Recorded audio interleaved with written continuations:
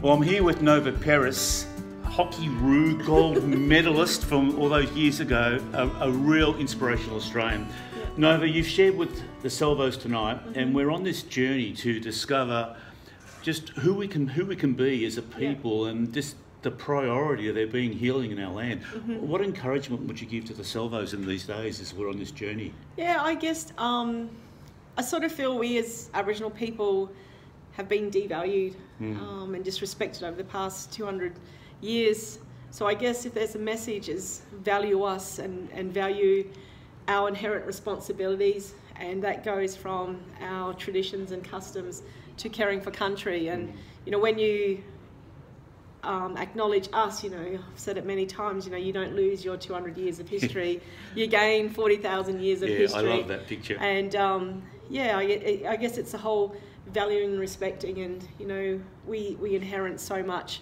and uh, we want to share that with you.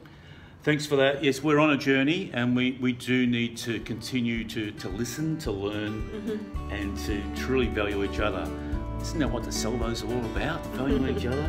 Bless you, Nova. Thank you.